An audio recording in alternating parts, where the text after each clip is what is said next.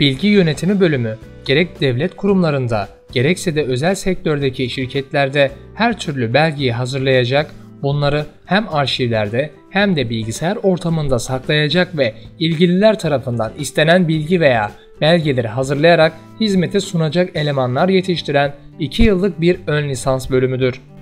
Bölümün okutulduğu üniversiteler Adıyaman Üniversitesi, Ordu Üniversitesi, Dumlupınar Üniversitesi, Mehmet Akif Ersoy Üniversitesi, Namık Kemal Üniversitesi ve Kırklareli Üniversitesi.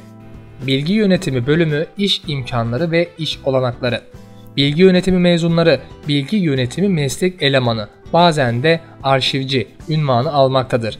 Bölüm mezunları hem devlete ait kurumlarda hem de özelde çalışabilir. Ancak kamuya atananların daha yüksek maaşlar alması mümkündür.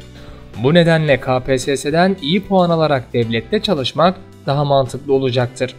İş bulma imkanları arasında kütüphaneler, hastaneler, bankalar, Milli Eğitim Bakanlığı ve Milli Eğitim Bakanlığı'na bağlı okullar, belediyeler, üniversiteler ve diğer birçok devlet kurumlarında iş imkanı bulabilirler. Bilgi yönetimi mezunları bir nevi sekreter veya memur görevi görürler. Çalıştıkları kurumun veya şirketin bilgi ve belge işlerini yürütürler. Gelen giden evrakların ilgili defterlere kayıtlarının yapılmasını sağlar ve bilgisayar üzerinde saklanması gereken bilgileri uygun şekilde saklarlar. Bilgi yönetimi bölümü, dikey geçiş bölümleri nelerdir?